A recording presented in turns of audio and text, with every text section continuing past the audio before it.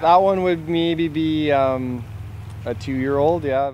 If you've taken a walk by Penticton Creek recently, you might have noticed some visitors in the water. The kokanee salmon are here and they are trying out the newly re-engineered spawning grounds. This used to be a major producer of uh, kokanee and rainbow trout. We're working on some habitat projects upstream to restore the ability to, or restore the capacity of the stream to produce juvenile fish. So for the next few years, we'll have a, a fence in down by the art gallery here, and every fish that swims up into the stream will count how many fish come back.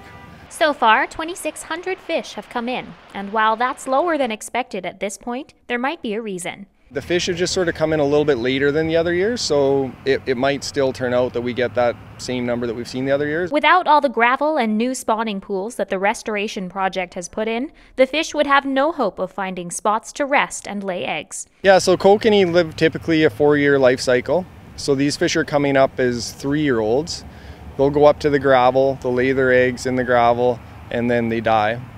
And then uh, the offspring from that will come down to the lake in the next spring. You can see three or four sections where we've added gravel, and those are just loaded with fish. So for sure this year um, there'll be some wild fish produced out of that gravel. And the work to restore the creek isn't done.